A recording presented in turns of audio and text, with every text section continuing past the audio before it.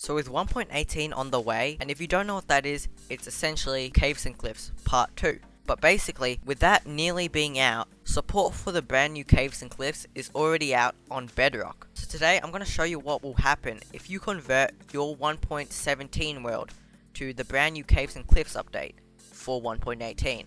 So let's begin. So let me give you the rundown. We are in a 1.17 world. I made it in 1.17. I did not change any of the settings except enable creative mode. If we go down to bedrock, which we can dig down by doing this, let's actually turn on coordinates. You can see we're at 38 and if we dig down to about 5, ooh, lava. But what I was saying, if we dig down to about level 5, we should see bedrock. You can see that the void is beneath the bedrock. We can go under it. We can see that there's just bedrock going all over. Now the question is, what will happen if we convert it? Will there just be an air gap going all the way down to negative 64? What will happen? Will it get overridden with the brand new caves? Or will something else happen? Let's find out. So first we're going to save and quit. Now make sure if you're going to do this on your own world, just be careful, you might mess something up and I don't recommend you play on it yet because they might change the technique on how to convert it.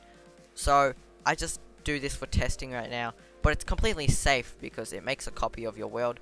So for example, we've got the 1.18 world here, it's in 1.17, but we are going to convert it to 1.18. So first we need to make sure we're on the latest version, and scroll down until you see Caves and Cliffs.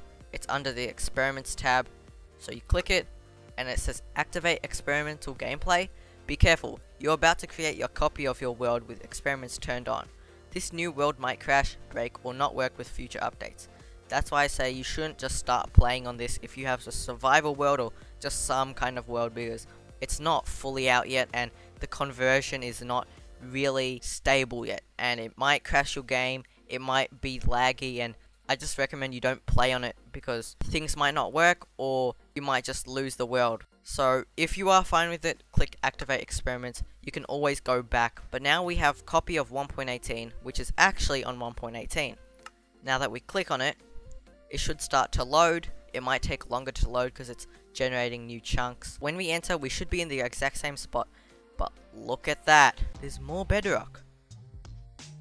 And if we go down, we see that there's just more bedrock. So long story short, the void that connects from 0 to negative 64 is filled completely with bedrock. From top to bottom, all bedrock. But let's check out what it looks like if we go to the edge of that bedrock border and see what it looks like compared to the actual caves. So to do that, we need to go away from where we floated up. I haven't walked around a lot in this world, so it shouldn't be that hard to find a part that hasn't loaded yet. And just so you know, the only parts that get activated and updated are the parts that you haven't gone to yet. So any chunks that you've never loaded will work. This seems good enough. Let's dig down here. Maybe here there's a little hole. We can just dig down to zero. And if we can go past, oh, there's a water cave. This is a new cave actually. So that means we are definitely in a new chunk that hasn't loaded before. So we can go down here, just keep digging. And if we go down to zero, we should see, yeah, the, we are at level four, which there should be bedrock. There is still caves. And if we dig down more, we might possibly find a big cave. So we didn't see one there, but you can see there is bedrock here now. Which looks pretty cool. So there's actually bedrock all the way at like negative 64. And that should connect to any of the previous chunks where the bedrock goes down to negative 64. So on the Z coordinate, it says we're at 452. So let's go back to around 0, 0 and see if we can see the border. Sadly, we can't use spectator mode, which would make this way easier. So we're just going to have to keep digging.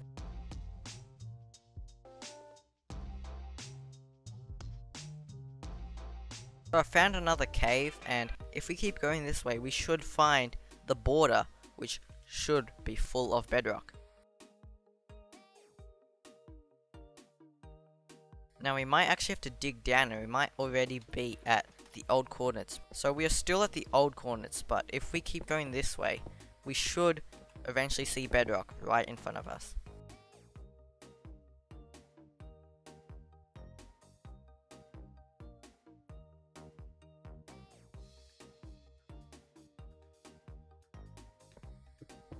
Oh, and there you have it. There's bedrock here. So that means this is the difference between a new chunk that we didn't load in the previous 1.17 and a chunk that we did load in 1.17 and you can see that I think they do make it a little differentiated and you can see that there's just little chunks of bedrock here. So I'm gonna assume that the entire thing isn't filled.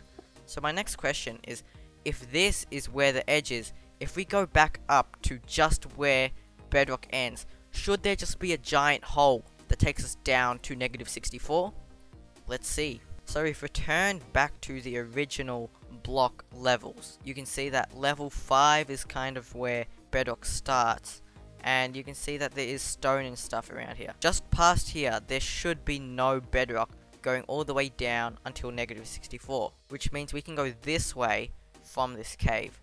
And eventually we should see a big hole just going all the way down. And it does get a bit weird, but oh, you can see this is an old cave, or old chunks. There are little gaps of air here in between the bedrock. From what I see here, this kind of shows what I meant. So let's say that we were mining. If we were mining this way, bedrock should end, like, keep going this way. But because we didn't load these chunks, technically, if we just go down here, this just takes us to the new chunks, so there would be a hole. Now, it might be pretty hard to find it in your world because you need to find where the chunk ends and where there's a new cave. But if you find it just like I did, you can see that there is just going to be a drop down. So be careful when you mine if you are going to use this version. But that's about it. It's pretty simple and it's really easy to do. And I wouldn't really worry about this ruining your world.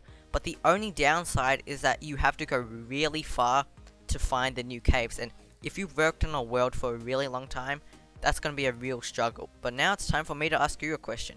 Are you going to do this? Are you going to update your world to 1.18? Or are you going to start a new one? Or are you just not going to update it? because I'm going to assume that you might be able to not opt in to change it and just keep it all the original terrain because I feel like a couple people might actually do that and the reason I did this on Bedrock is because it is technically out on Java but I'll be quite honest it runs really bad on my computer like 40 FPS and sometimes it's just buggy and crashes all the time so doing it on Bedrock not only is it properly supported and integrated into the newest version, but it just works way better. I'm getting all the FPS I need, and I hope this video helped you a lot because it definitely seems like a lot of people would be interested on how this would affect their world. But that's about it. If you enjoyed the video, make sure to give the video a like. It really helps me out.